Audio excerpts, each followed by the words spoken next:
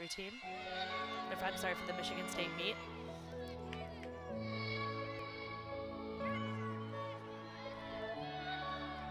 You know, I saw her do this routine last time. She keeps a little bit of chalk in her hands, uses it to explode right there.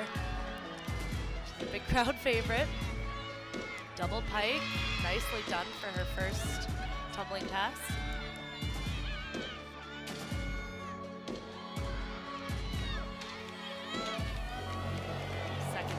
Pass right here. Punch front, round off back handspring. One and a half. Another beautiful tumbling pass. Tiny, tiny little step out of it, but really solid for floor. Lainey Snyder came in with a 9.05, which is unfortunately a little low, a little lower than the Hawkeyes would like. Hopefully Charlotte Sullivan can bring in a nice high score here. She's a floor powerhouse, great tumbler.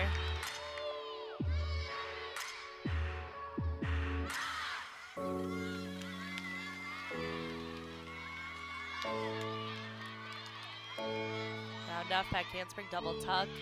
Beautiful height. I was seeing it in her warm-up. She gets really great height for those double tucks. This will be a nice scoring routine for them. And good for her, you know, because she